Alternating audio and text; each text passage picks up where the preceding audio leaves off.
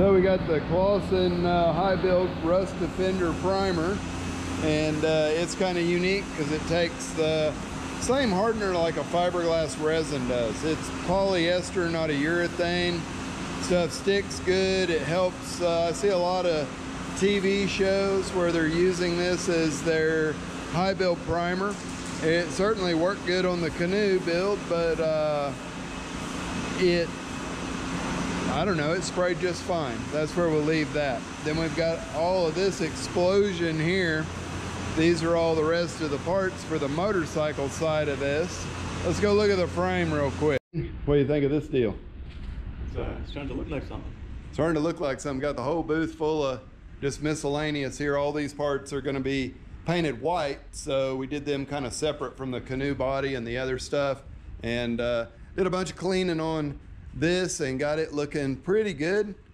It's to hold that uh, canoe sidecar body down and uh, stay attached to the motorcycle, hopefully.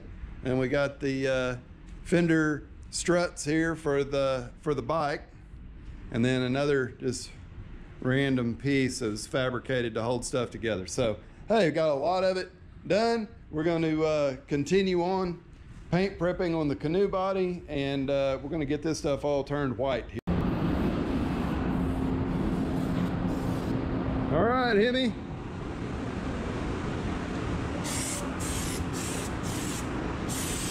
Spraying the bed liner on the inside of it.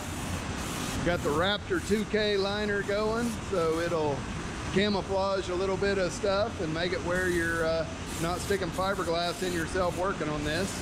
Here we are, and uh, basically the, the light color for this has been laid down, and now we're coming back and we're doing a little design work here. We've got this stuff taped out, we're going to fill it in with more tape and then we're going to spray our secondary color on here in our two-tone. So it just takes uh, time with the tape going around and around you go. I like to use several different widths.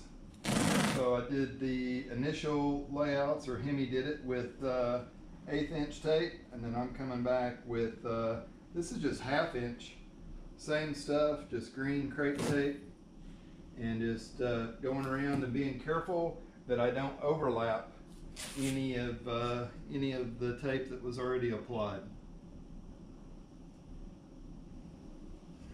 And once we get our secondary base on, we'll take all this and uh, peel it back and then we'll be able to put clear on this thing.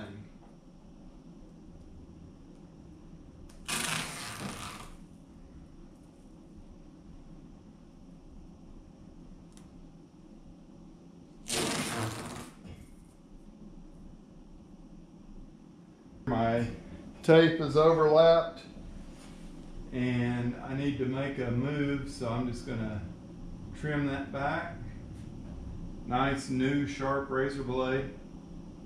And then pick up the piece that doesn't belong.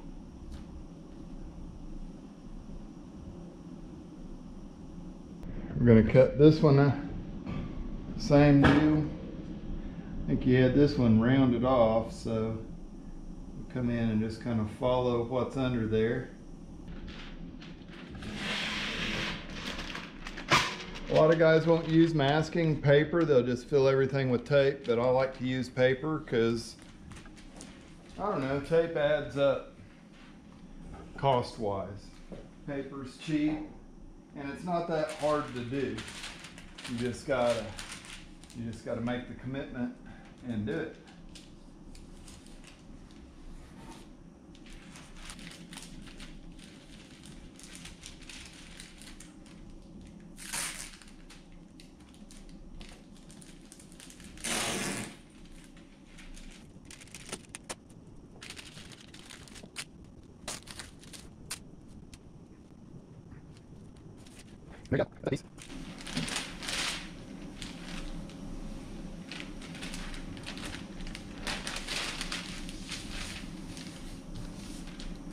At the very top. We can tack that down.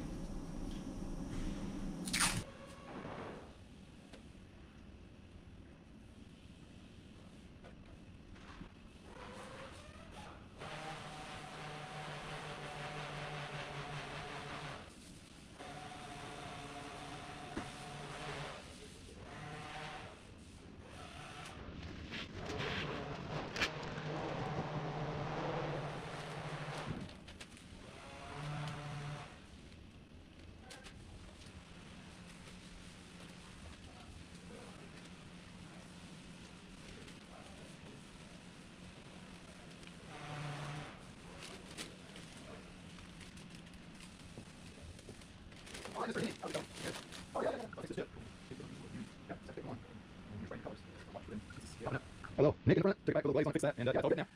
Gonna take this and uh, go through. Yeah, do some right there. I'll see. Go. And blade. Come in. Cut that. I can feel using the blade of how deeply you're cutting. That always helps you keep cutting tape. Let's go. I'll. I've got a little with tape. So I use. You go. Trim that out. Take this off. It on And this is really cool. This uh, done. So we're coming in and. Oh yeah, check out that color. That's gonna look pretty on the Harley stuff.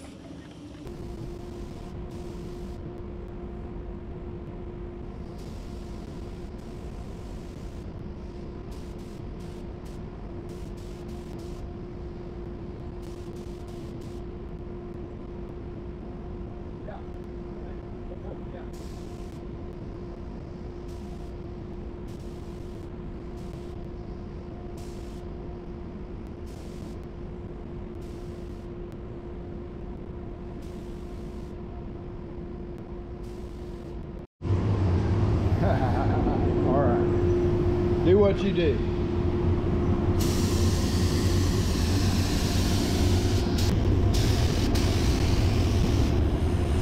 Looking good. Looking good.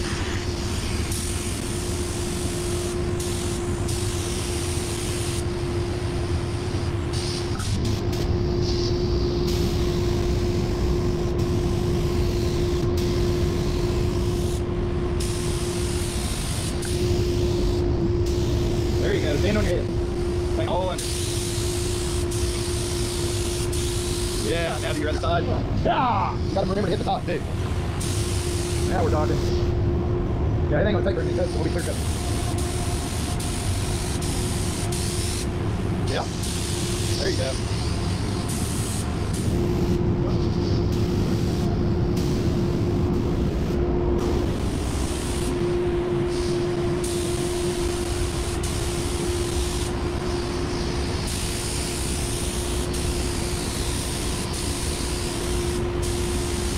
Looking good.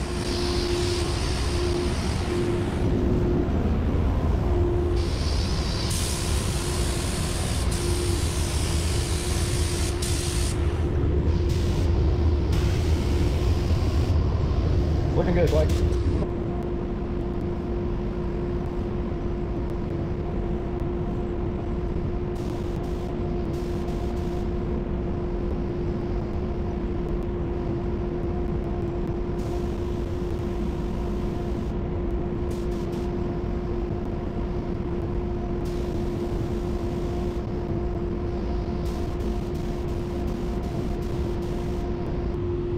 So I just take it and get that started. And then it comes off there pretty good. And get your little bit there. Oh, come on.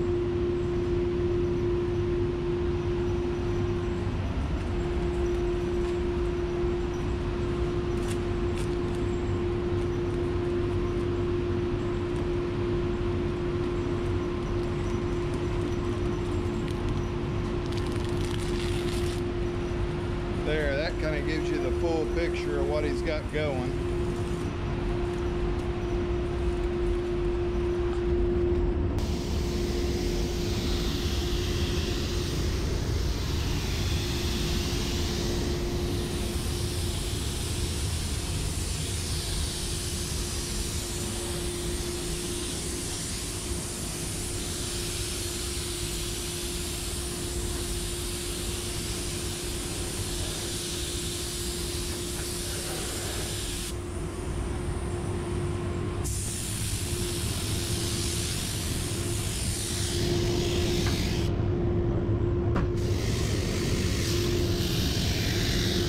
We just gotta stay even, okay? Here, do as much as you can. But you want me to holler at you when the bell rings? Yeah.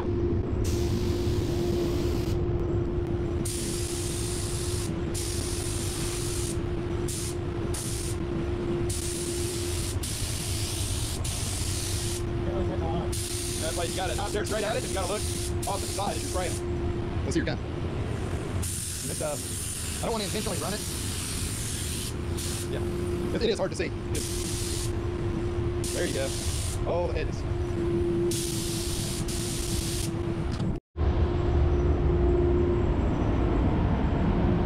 Yeah, do some of this high profile stuff here.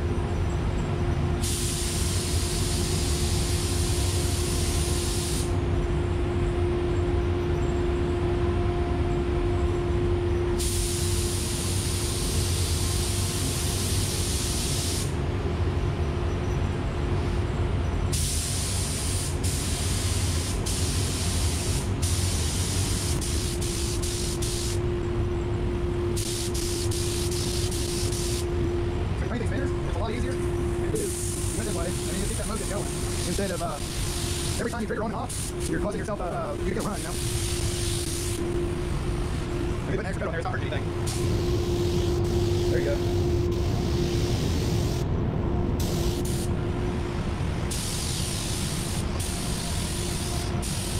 Right now.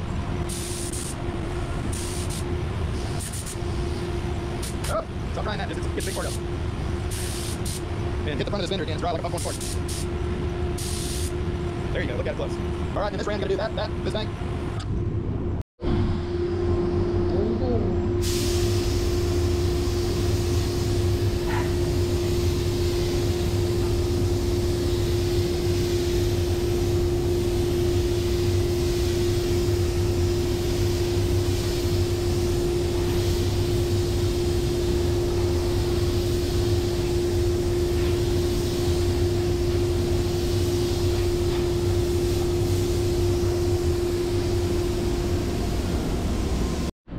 All right, guys. So uh, we got things kind of crammed in here, but uh, Mr. Hemi here, he's he like worked hard yesterday, and uh, yeah, this thing is kind of put back together. We're at the end of the school year, and the goal was to get all of the body work, fabrication, paint work done, and then Hemi will do the mechanical work once he gets it back and everything. But uh, yeah, you can check it out how the colors look together and stuff. You can imagine a big old uh, billet S&S engine up here, or no, it's gonna, actually going to be an original old Harley motor.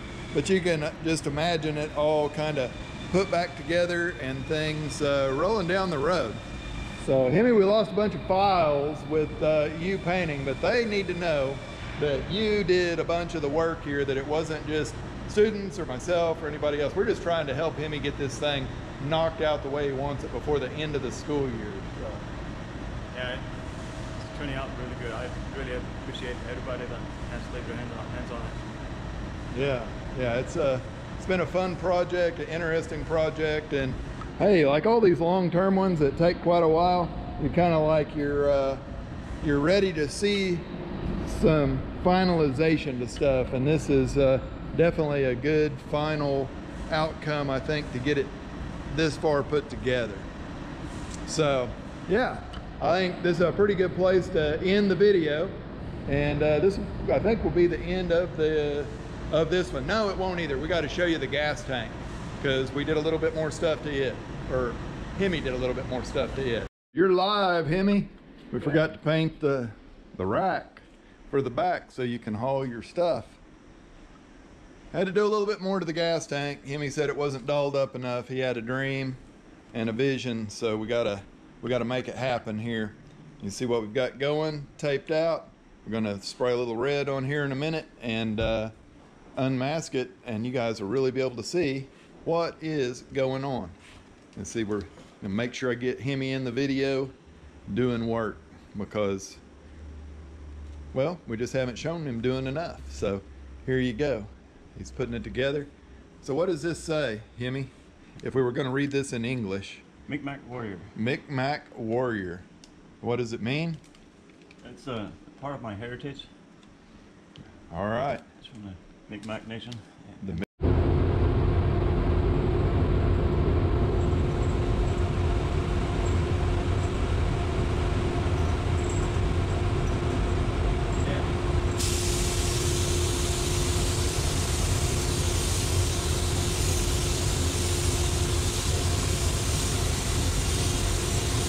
Let it dry.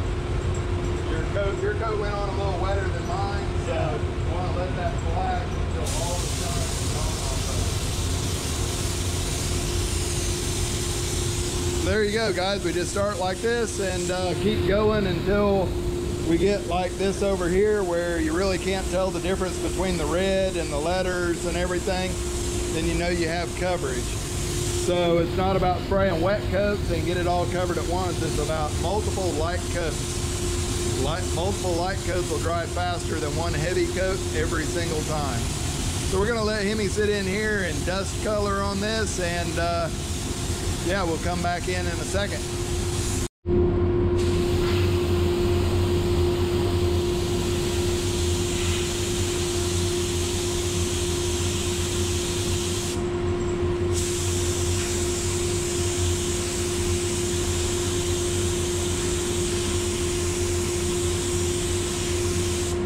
That should be good.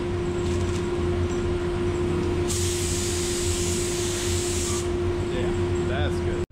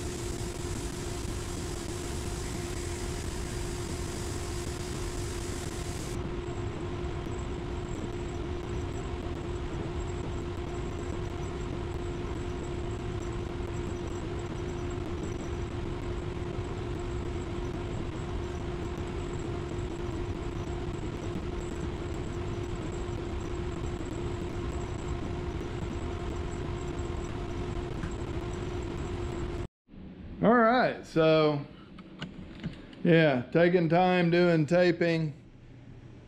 And we got some red in here. You can kind of see the overall concept.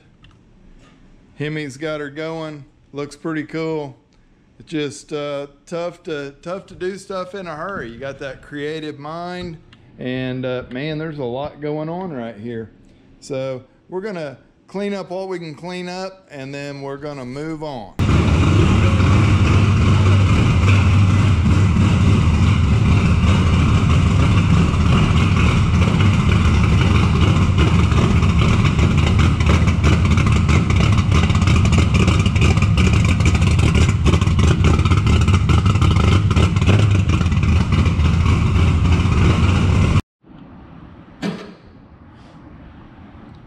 Woo! Come on, get the front one.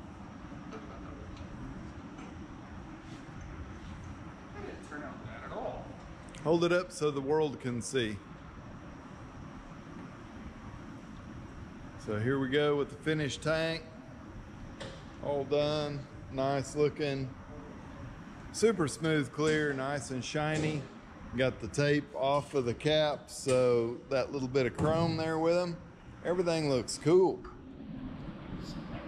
Sidecars getting separated.